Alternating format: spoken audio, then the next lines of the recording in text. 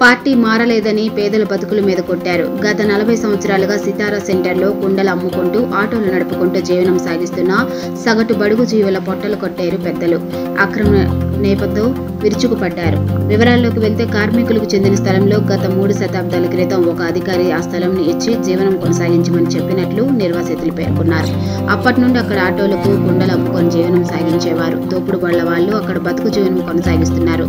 ఆ స్థలంపై కొంతమంది పెద్దల కన్ను పడినట్లు నిర్వాసితులు తెలిపారు. వారిని ఖాళీ చేయించకుండా ఉండేందుకు అధికార పార్టీలో చేరాలని కోరినట్లు నిర్వాసితులు తెలిపారు. దానికి ససేమేర అనడంతో ట్రాఫిక్ అంతరాయం పేరుతో తొలగించారని బాధితులు కన్నీరు పర్యంతం అడ్డు వచ్చిన వారిపై పోలీసులను ఉపయోగించి స్టేషన్కు తరలించారు